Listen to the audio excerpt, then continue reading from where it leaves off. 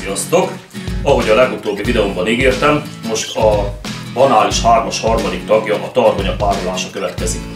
A rizs és a tarhonya elkészítési metodikája tekintve nálam teljes mértékben egy kalap alá tartoznak. Totál ugyanaz az eljárás, mint a rizs esetében, csak itt nem sóval kevert, szárított zöldségörleményt, tehát ételízesítő zöldségörleményt vagy vegetát adunk hozzá, hanem natur konyha só.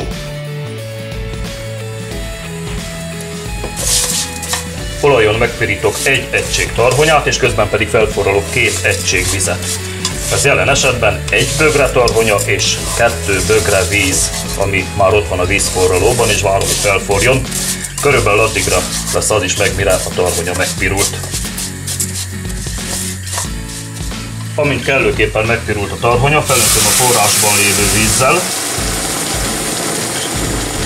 nagyon fontos, hogy elég forró legyen a víz, tehát hogyha nem kezd el egyből azonnal fornia, tehát nem indul be az újraforrás azonnal, hogy felöntöttem a tarhonyát, akkor csak egy ilyen kenőcsös tésztapempőt fogunk kapni. Ahogy felöntöttem, dobok rá egy erős evőkanál, nem evőkanál, bocsánat, teáskanál sót,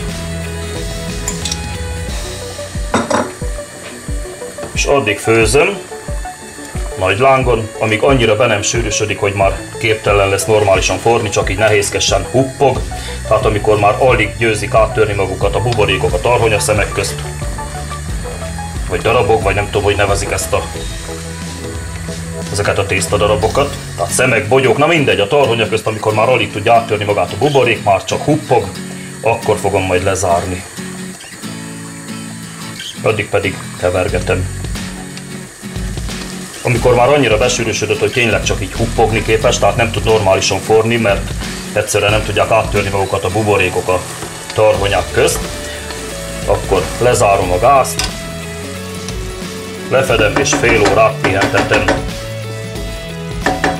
A rizs esetében már elmeséltem, de azért érdekességként itt is elmondom, hogy a 80-as években még úgy csináltam a tarhonyát, tarhonyát és a rizst is, akkor még nem voltak ilyen komoly edények, mint manapság, az csak azok a régi zomácozott lábasok fazekak, hogy a fedelére minimum kettő konyharuhát ráterítettem, hogy még az is tartsa kicsit a hőt, és a párolódás alatt még eredményesebb hatást érjünk el. De most már ezekkel az edényekkel, ilyen hülyeségekkel nem kell foglalkozni, bőven elég csak így a fedele. Amint letelt a fél óra, nagyon óvatosan fellazítom, mert ilyenkor még elég kenőcsös,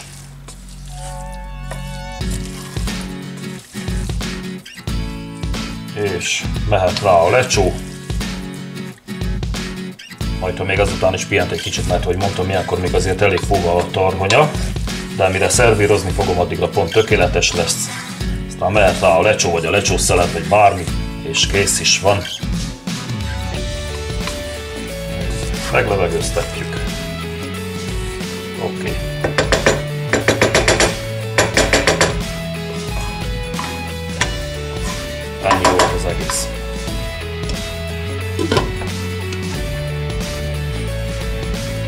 Remélem, hogy legalább a felnövekvő generációból lesznek olyanok, akiknek újat mondtam. Köszönöm a figyelmet, sziasztok!